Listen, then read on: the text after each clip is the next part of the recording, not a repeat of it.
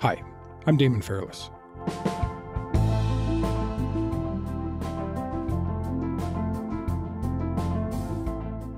The Savar district, just north of Bangladesh's capital city, Dhaka, is home to hundreds of garment factories and around half a million garment workers.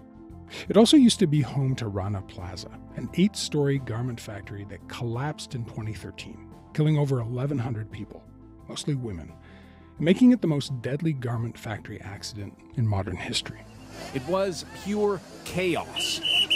A giant plaza with a market and several clothing factories inside. During morning rush hour, it simply collapsed. For days, rescuers, some using their bare hands, tried to dig survivors out of the rubble. It's a tragedy that led to a lot of public anger towards the brands that made their clothes there. Brands like Zara, Walmart, and Joe Fresh, which is owned by Loblaw. At the time, Loblaw promised safer working conditions, fair wages, but 10 years later, has it followed through on those promises? The Fifth Estate's Mark Kelley went to find out, and he's going to tell us about his investigation.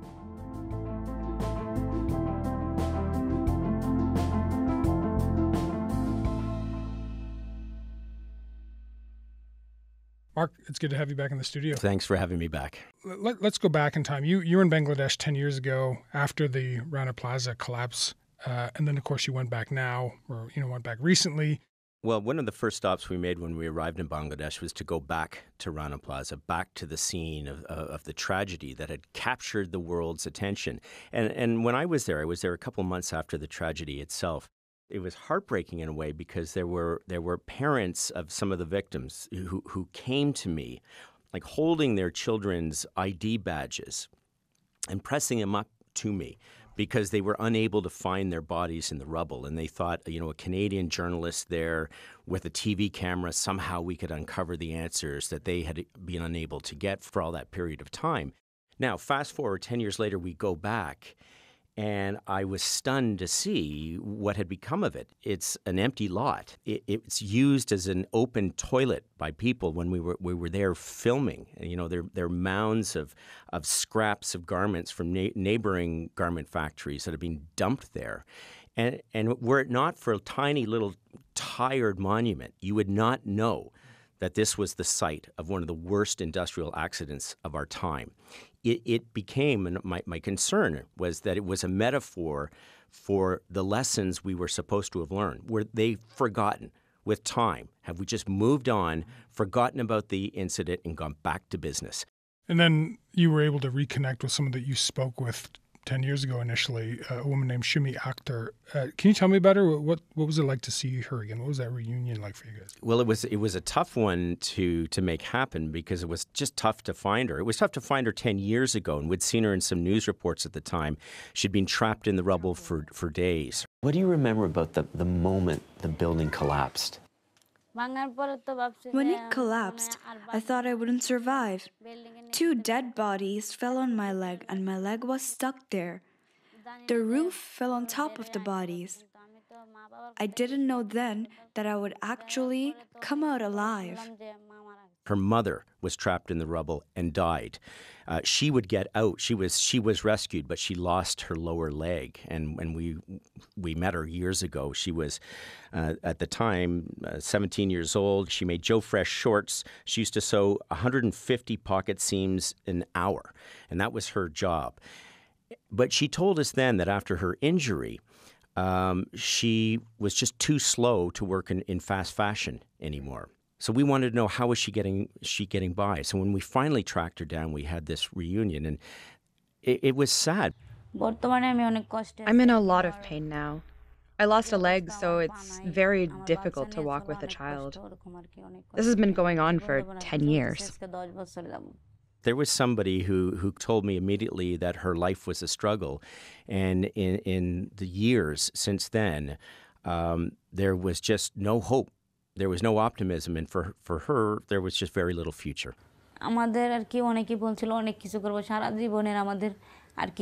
They promised us to do many things that will last throughout our lives, like healthcare, treatment, and family expenses. We alone are feeling the pain.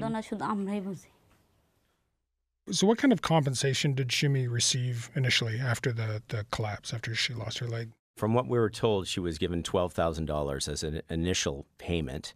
And since then, she receives about $100 a month from the government for lost wages. But just to put that into perspective, um, she has this prosthetic leg, and she says every, you know, between every eight to 12 months, she needs to replace that leg. And that leg alone costs about $1,200 a year. That, that's money that she says she simply doesn't have. And, and to put that in perspective, $1,200 a year is about the annual salary of a garment worker, and, and she is now unemployable. So, again, this is just money she does not have.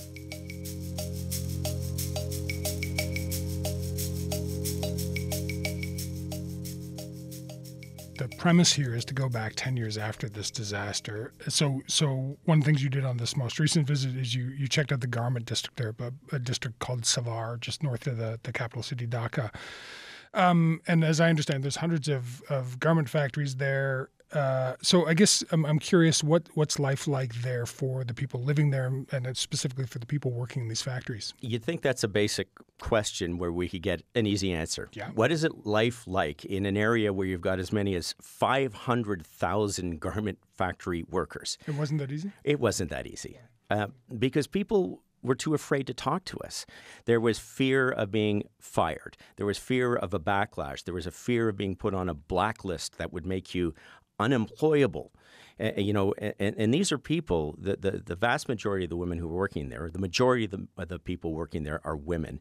So many of them have come from the countryside to come in and get work, and the garment sector has given them that. But it's just so important for them. And it wasn't until we were on the ground and working with one of our colleagues who's a Bangladeshi uh, journalist, he was able to finally arrange us to be able to talk to one brave woman who said, Yes, I'll talk and I'll talk to you on camera. You saw her where she's living, right? T- tell me about that. She was like living in a workers' compound in in Savar.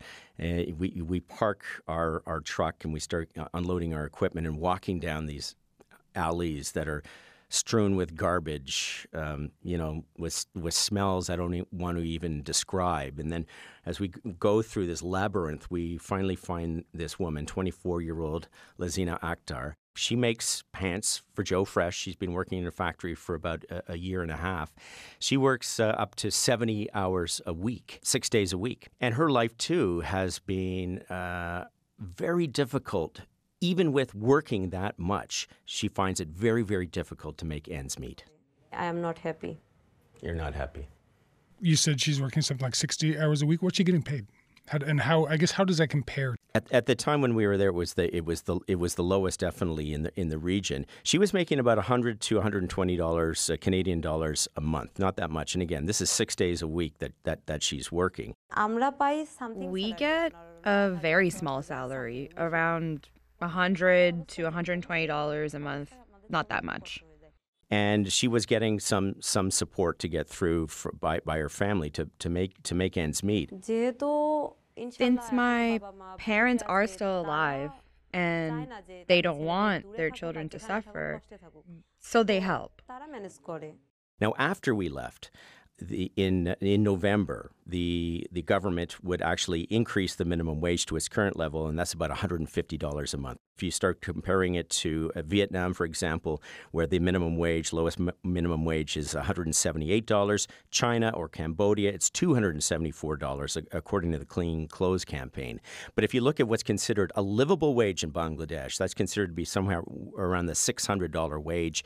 These workers are now making, at the lowest level, $150 a month. That is their reality, and that's why life is so unaffordable for so many of these workers.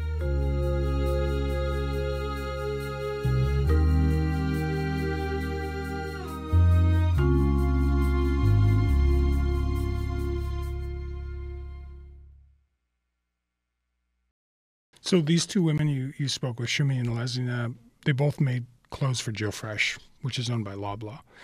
Loblaw is just one of a number of companies that used Rana Plaza to make its clothing. Uh, so I want to talk more about current safety conditions, but but just in a bit, I want to go back right now to 2013. What happened after the collapse? Uh, how did Loblaw respond at the time? Well, Loblaw reacted with shock and surprise looking back, I think what it revealed is they didn't know exactly what the working conditions were like for many of the people who were making their clothes in Bangladesh. Ten years ago, I was able to get inside a, a prison to interview uh, a man who owned the factory, who was making $6 million a year making clothes for, for Joe Fresh. Joe Fresh was my biggest client, about $6 million a year. That's why I was going bigger. Everybody is doing this. They all squeezed me. But Joe Fresh was a very good customer. Their policy was just ship it on time. I asked him to name one Loblaw employee who had ever been inside his factory to inspect it. He couldn't do that. So I think when Loblaw was saying that they were shocked and surprised by what happened there, it revealed the fact that they were using third-party inspectors who, who had that distance from the company. And I think that those, what, what time would uh, reveal as well, those third-party inspectors were really going in there to make sure that the production process was working, as opposed to what, what were the working conditions like? What was fire inspection safety like? What was structural safety like? That was the problem, and that was what really came to light of so many international brands, including Loblaw Joe Fresh. So after that collapse, uh, Loblaw CEO Galen Weston responded. Remind me what he said. I'm troubled that despite a clear commitment to the highest standards of ethical sourcing, our company can still be part of such an unspeakable tragedy. Well, he, he wanted to make a, a series of commitments, in, including ma- manufacturing clothing only in factories that meet all the local safety codes. Uh, talking about fire safety, uh, uh, structural safety codes. Uh, he also wanted to pay long term compensation for the victims of the collapse and paying fair wages for all the workers in its supply chain.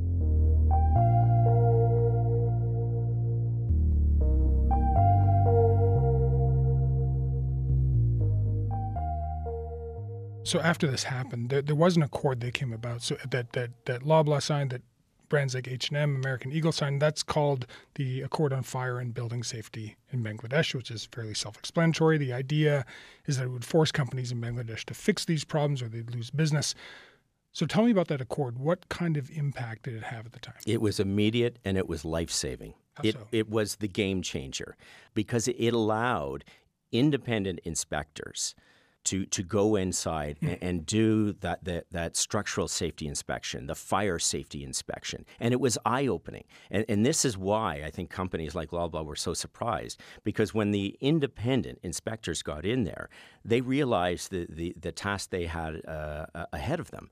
Um, you know, one of the inspectors that we met, he's a Canadian, and he right. was leading the inspection. His name's Brad Lowen. He says when he first got there and with his teams that they found at 50, 50 factories, 50 buildings that needed to be shut down right away because in their estimation they were potentially the next Rana Plaza because of structural safety issues. They were they were ordering these buildings to be evacuated and and, and shut down. And, and this revealed the lack of safety inspection that had that had plagued the industry for so long until Rana Plaza collapsed. And was that effective? Like the, the, the people implementing this accord, they had the power to to do that? They had the they had the power to dry up business mm. and, and, and put business on on hold uh, until these factories, you know, in essence, cleaned up their act. I would get calls from the sourcing people and saying, "Well, no, we we're we're happy to pull out of that factory if you're saying it's unsafe. Our order should be done in two weeks." And then we will pull out. And I said, no, no, no, no. But they also had to learn quite quickly that yes, in fact, if these factories were that immediately dangerous, that they weren't going to finish their two week run of jeans or what have you, that it was right now.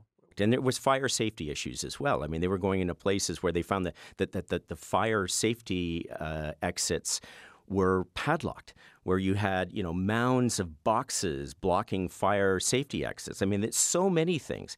Brad Lowen was given uh, a list of 1,700 factories and one year. And said, go out there and, and, and do what you need to do. And, and, and they did that. So we would send in uh, uh, three teams of engineers. Over half of these factories had locks on their exit doors. Mm. And we, we made them cut them off and that was the game changer that happened because finally there was this independent, you know, policing agency, if you will, that was allowed to go in there. But with the way that it worked, is you had the brands working with the independent inspectors and the unions. So they all worked together and it was very effective. But there was one key player left out of that. Those were the factory owners themselves. So, needless to say, they didn't like it. Yeah, so tell me about that. Well, the, the, the, this accord comes in, it's effective, and then there's pushback. And it ends up being a victim of its own success because it was so successful in cleaning up the act uh, or forcing the factory owners to clean up their act. The factory owners didn't like it. One factory owner would eventually go to court. Uh, it, the, the, the, the case there was that they didn't really have the jurisdiction to be coming in and telling the factory owners, in essence, how to run their business. The court agreed, and the accord was uh, essentially kicked out of the country. And and one of the interesting things I found from your, your documentary too is that is that the, the ties between the factory owners and the government are pretty tight, right? Yeah, when ten years ago, I mean, when a lot of this was was happening, uh, about one in ten, about thirty of the three hundred MPs actually own factories, garment factories. So, and and and to this day, I mean, some some of their top cabinet ministers own factories. So that relationship between the factory owners and the government, the people who are really calling the shots at the end of the at the end of the day, was really inextricably linked, and that still has an impact on on on on wages and on working conditions in that country.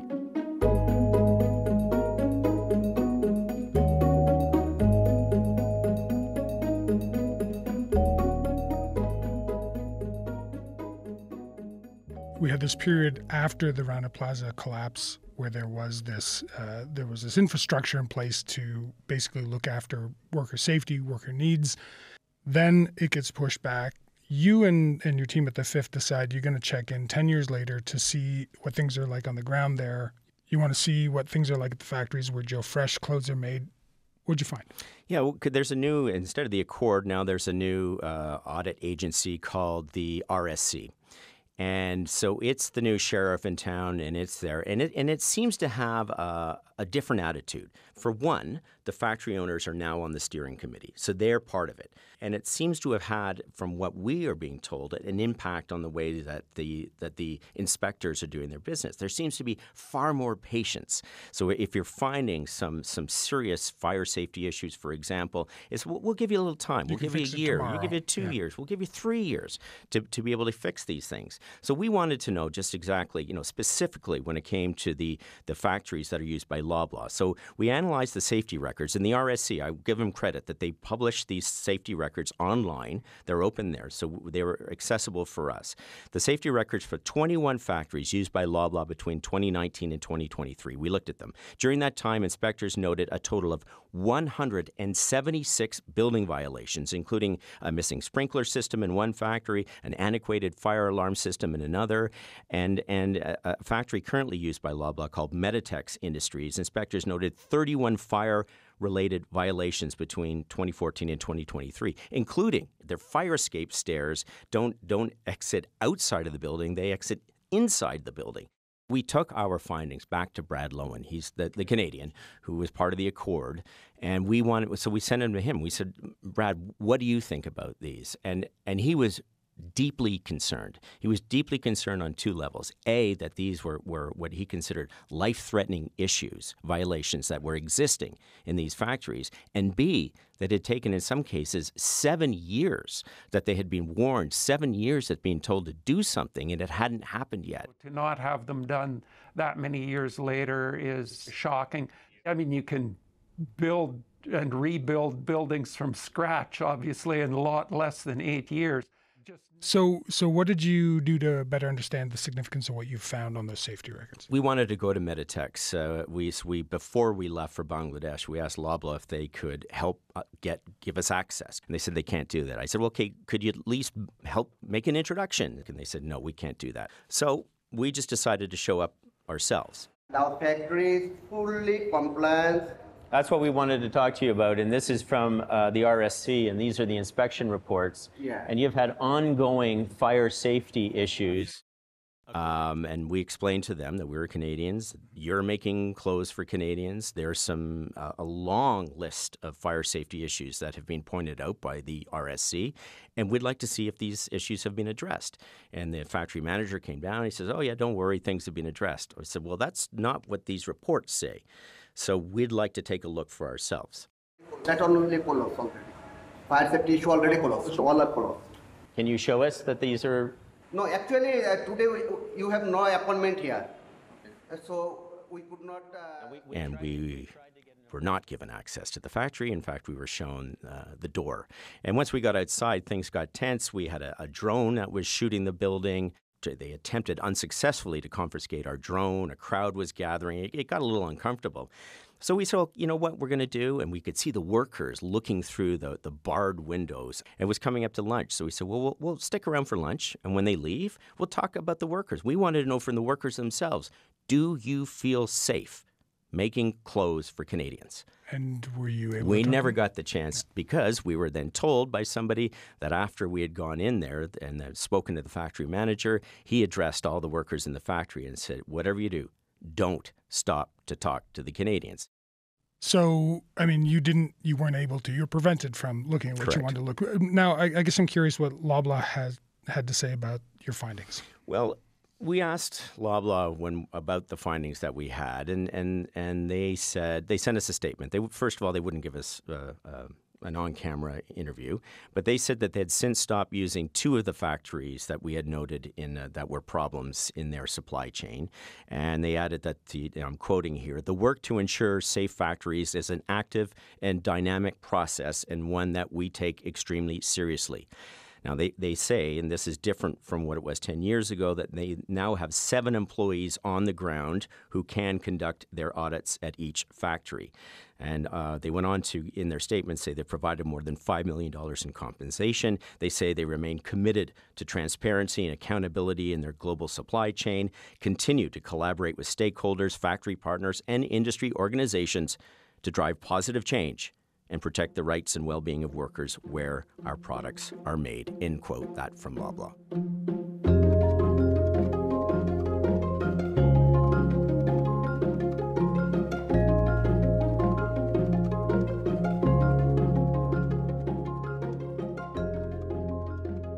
So, Mark, it's been 10 years since the Rana Plaza collapse, and since then, Bangladesh has doubled the amount of clothes they export. And despite that growth, the concerns that the tragedy raised haven't gone away. So, garment workers and their advocates are out on the street, they're calling for higher wages, and you saw some of that when you were there reporting. So, what message do they have for Canadian companies who have factories in Bangladesh, and, and I guess also for Canadian consumers who buy the clothes that are made there? Put it this way when when we were in, in, Bangladesh 10 years ago, Joe Fresh was running ads that say, well, we're, we're selling t shirts for eight bucks. Right before we went to air, 10 years later, we went into a local Joe Fresh store here in Toronto. They were selling t shirts there for $8.94. So that much, that much later. That 10 years later. Wow. Think about our lives right now and how inflation is now the story. You know, yeah. everything around us has increased in price. How can it be that the price of a T-shirt has moved so little? In mm. fact, if it, if you adjust it for inflation, it's actually less than eight dollars. So how could that be? That is in fact going down. Well, well, the issue there is that if it's that cheap, it's that cheap for a reason. And, and that's what we just need to know as, as, consumers that there's a story with, with every garment that we buy. It's stitched into it itself. And if it's that cheap, it's that cheap for a reason. And when it comes to the price squeeze, it's actually the workers who are at the bottom of that of that food chain, of that price chain. Right. They're the one who gets squeezed the most. Yes, the factory owners are complaining about getting squeezed. In fact, the factory owners say that that international brands like Loblaw Joe Fresh are not paying what they call ethical wages. Mm. I mean, the factory owners themselves are saying this, let alone what the workers are dealing with. And that's the story. That's the subtext. And and there's this concern that people have on the ground there that there are a lot of you know, uh, statements about we want to do better. We care about the workers. We care about the people who make our clothes. But in the end, they're really just that's it's part of what, what some people told us over there. It's really just part of a PR campaign more than really caring about the people who make our clothes. I think the brands really need to stop their double standard. You know, I think they talk about commitment to workers' rights only as a PR strategy, you know, because they don't want their woke consumers to, to have to to have to deal with the guilt of buying from sweatshops in Bangladesh. I think the thing that struck me is that before I came into the studio, I took the shirt off that I'm wearing. I looked at the tag. I got this thing on sale for 25 bucks. Guess where it's made? Bangladesh. So your question, right? Like 10 years later, have we forgotten? I mean, I have to say I had. I, yeah. I knew this story. Yeah, and, and, and of course we do. We, we we cared at the time, and it was it was the priority for consumers. It was the priority for brands. It was the priority, you know, internationally, globally. We've got to do better, and then we move on with our busy lives. And and in this day and age, we're all looking for for a great deal. And the important thing about Bangladesh is it's it's employing uh, more than four million people. I mean, it is the backbone of their economy, and and, and the majority of those are, uh, employees are women. There there've been huge huge gains from the the garment industry there there. But that's not necessarily good enough. Mark, thanks so much for coming in and telling me about this. It's great reporting and uh, really appreciate it. Thank you. Thanks.